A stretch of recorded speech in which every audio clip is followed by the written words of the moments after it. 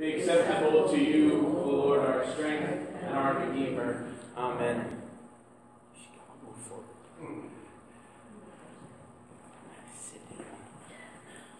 You can come up here and sit in the front now. I am bringing you good news of great joy for all the people. For to you is born this day in the city of David a Savior who is the Messiah, the Lord. As I looked over this passage from this week, I wondered, how can I say anything new about a story that everybody knows? Right? If you've never been to church, if you've been to church every Christmas, you still know the story. Because people around you have told you this story. You've heard it over and over again, right? There's, there's these two people, and they're in this barn like thing, and they have a baby, and there's shepherds and sheep, and there's most of our renditions includes wise men. Our wise men are still over there because they haven't arrived yet. Right? This is a story we think we know. We, we've heard all the details and we know all about it, right? The baby was born in a barn in a feed trough, in a manger. And how many of you have ever been in a barn? Is, is it, it's said it was a silent, we're going to sing a little bit of Silent Night. Is a barn quiet? No. No. We're not there yet, John, so it's okay. You can sit down. right? The barn is, he was, he's ready. I like that. The barn is not quiet. Even if the animals aren't making any noise, even if there's nothing else going on, a barn has noise. It's not a silent night. Right? It's not the image of the story that we picture. We picture this image of this manger being there, and when the angel comes to the shepherds, right, you got this guy here. He's like half dressed because he's a shepherd, right? He's doing his job, he's out in the field, and, and then the angels come, and he's like, oh no! right? I mean, that's probably what it was. Because what do angels always say? We talked about this earlier, except in, except in Matthew, right? To Joseph. The angels always say, don't be afraid. And why do angels always say, don't be afraid? Probably because they're scary looking. They're not winged creatures that, that are pretty to look at. They're probably quite awe striking, I will say, to be nice. Um, but the angels appeared to these shepherds who we think are right there with the, with the manger. We think that the star came down over top of the manger and the angel appeared there next to it and they and the and then the shepherds were just there and when they went they just went right into the manger to be with Jesus and Mary and Joseph. But when I read this tonight, did you listen? Because it actually struck me this week when I looked at this. This was something that I hadn't even seen before. It said, When the angels had left them and gone back into heaven, the shepherds looked at one another and said, Let us go now to Bethlehem. It's like they weren't there, they were someplace else. Probably just out on a hillside in Bethlehem, close enough that it was easy for them to get there. They weren't a long way away, but they weren't right there. We think that it's all happening right this one spot. That they're there and it's in an instant and they go in. I am bringing you good news of great joy for all people. For to you is born this day in the city of David a Savior who is the Messiah, the Lord. Something else has struck me this this week as I read this, read this passage again for the umpteenth time.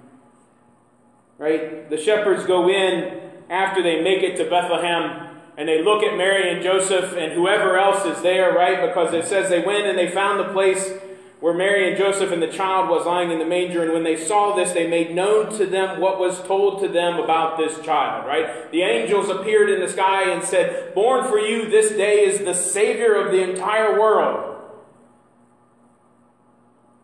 That's almost what the angel told, told Joseph, right? The angel in the dream told Joseph yesterday, we read it.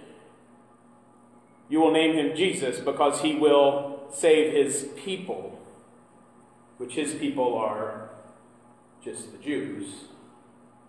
But now the shepherds come and say, He is going to be the Savior of the entire world. And when they said this, all who heard it were amazed at what the shepherds had told them. Everyone there was amazed.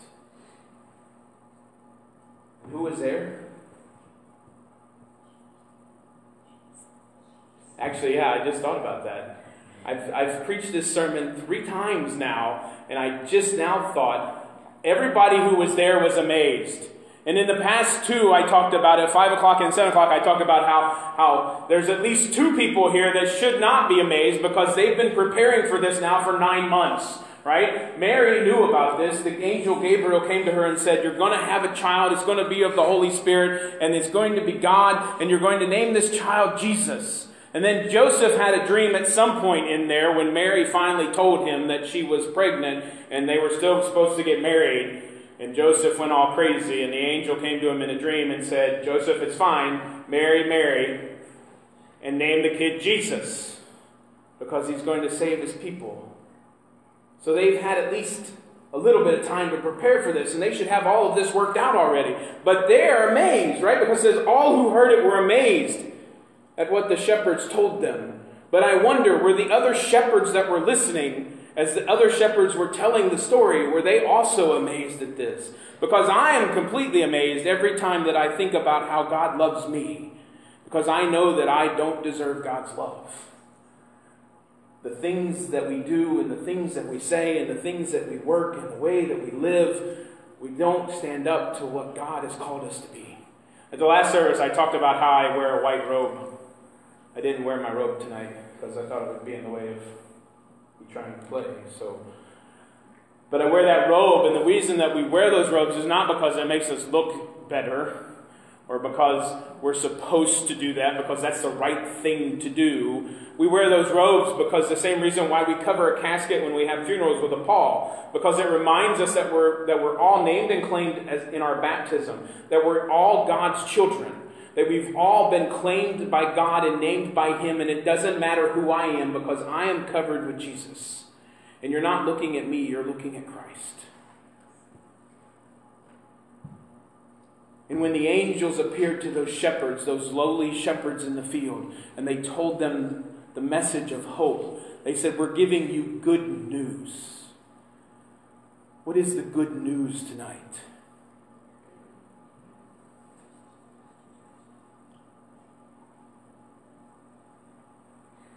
She said something. I didn't hear what she uh-huh. said, though. No, I didn't either. I don't think I want to know what she I, I said. don't think you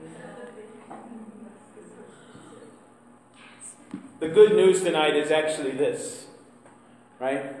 Not this porcelain figure of this baby in this manger that looks very happy to be here. The good news tonight is that Jesus was born, and he came to us in human form.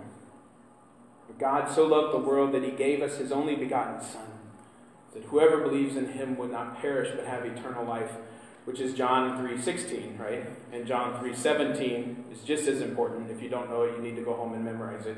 John 3:17 is that God sent his son into the world that the world might be saved through him. God didn't want to condemn us. God sent his son so that we could learn and see what it's like to live as we're supposed to, even though none of us ever will live up to that. This is the good news tonight. And good news I feel like I've said this before, but I haven't yet this evening. Good news is the word euangelion. Euangelion, which is eu, eu, which means good, and the word angelos, which means angel or messenger, right? And the messengers came and told the shepherds that the, the, this great news. And what happened when they told the shepherds about the good news? The shepherds became what? Messengers. And they went and they told Mary and Joseph about what they had heard. And after Mary and Joseph left the stable, they became what? Messengers as they went and told about the proclamation of their son. And John the Baptist, after he was anointed for, for his ministry, became what? A messenger in the wilderness. And every last one of us is sent and called to be a Messenger. Oh my gosh, are you awake? There's more of you than that, I know. Messenger. Messenger. We're all called to be angels. You see that? You don't get called that very much, do you? You're an angel. You truly are an angel. Sent, to, sent, sent into this world to help people understand and know who this is. Sent into this world to tell them how much God loves them and loves you because He sent His only Son so that every one of us could have the greatest gift ever. So we could look like the shepherd, like, I'm not worthy of this.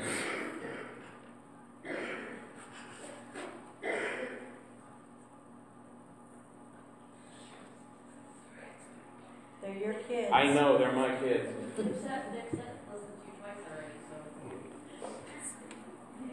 So on this night, remember that God sent His Son to come and be born in a manger so that He could fulfill the prophecies of a coming Messiah, Messiah to be the Savior of all the world. And in doing that, He made His way through Jerusalem and to the cross to die in each to die for each and every one of us, so that we can have a relationship with God the Father.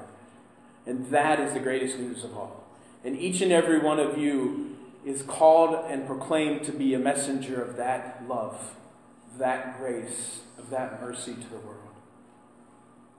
So hold that dear and be in awe at the wonder of how God takes each and every one of us, whether we think we're worthy or not, and uses us to help everyone see just how much He loves all the world.